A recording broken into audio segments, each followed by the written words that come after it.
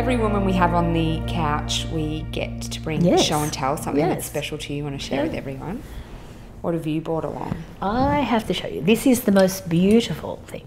Is it orchid? Yes, it's a glass flower, and it, it it's uh, uh, it's it's sort of travelled with me a bit. But I bought it when I went to uh, university in America thirty years ago, nearly.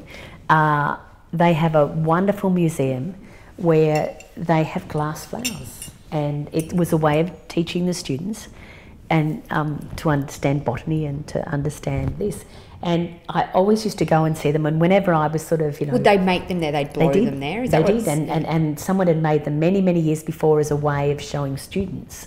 Right. They're incredibly lifelike, and and it's um, and I always sort of thought they were just so so expensive when I was there. But gradually, you know, we used to go backwards and forwards, and I could then afford to buy one. And I just it always reminds me of the most. It's the most precious kind of thing, and and it's so detailed, and it just reminds me of another time when I know really enjoyed the time I was at university and, and the experience it gave me at Harvard, Right. but also this wonderful sort of museum gallery thing where you could go and look at these beautiful flowers. Yeah, your and I Harvard thought, gee, flower. you know, to own one, yes. Yes, beautiful. I remember at, um, did you ever used to go on holidays to Surfers Paradise? Sometimes, yeah. And they'd be like, which is a bit not a, Harvard story No. at all, obviously, with my family and service, but they used to do glass blowing. yes, I love glass. yes. And I would for hours just sit and go, how the hell do they do that? Yeah. Like as a young Yeah. kid, it's so fascinating to watch things like this. Yeah, and I've always loved glass, and I still do, and I do glass mosaics, and Oh, do I love Yeah. mosaic? Yes, I do big glass mosaics, and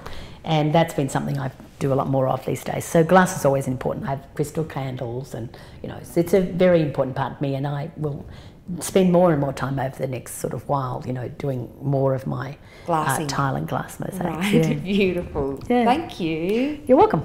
Thank you.